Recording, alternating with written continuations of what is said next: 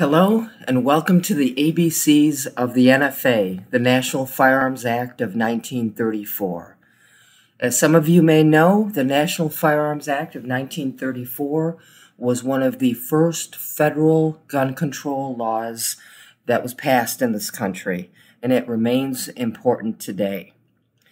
This class will be a good introduction if you're an attorney new to firearms law or simply if you're anyone who wants to get a better understanding of gun laws in this country today and to understand better some of what is being de- debated on the state and federal level. My name is Sarah Javasi. I've been Assistant General Counsel at the National Rifle Association for over 16 years now, and I hope you enjoy the program.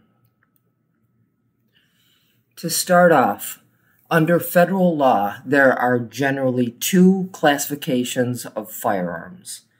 The first category are those firearms that are regulated by the Gun Control Act of 1968, commonly known as Title I firearms. The second category are those firearms that are regulated by both the Gun Control Act of 1968 and the National Firearms Act of 1934. Those firearms are known interchangeably as Title II or Class III or NFA firearms. Keep in mind that all firearms in the United States are regulated under both federal and state law, and in some cases, local law as well. Let's look at that first category the Title I firearms. These are by far the most commonly purchased and transferred guns in the United States. They are the most common. These are your garden variety types of semi automatic handguns, revolvers, pump and semi automatic shotguns, semi automatic rifles like the AR 15. These guns make up uh, well over 95% of the firearms stock in this country. The vast majority of gun owners in this country own only Title I firearms, and they may never even have the opportunity to hold or to shoot a Title II NFA firearm that we're going to talk about. Now, under federal law, the buyer of a Title I generic everyday type of firearm who purchases that gun from a federal firearms licensee, otherwise known as an FFL, must undergo a criminal background check. And for Title I firearms, those checks generally go through uh, the FBI, through the FBI NICS program.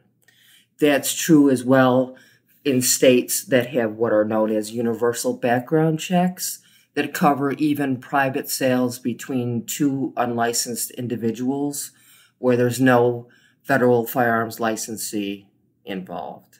Those background checks generally go through the FBI, although there are some, some different systems out there.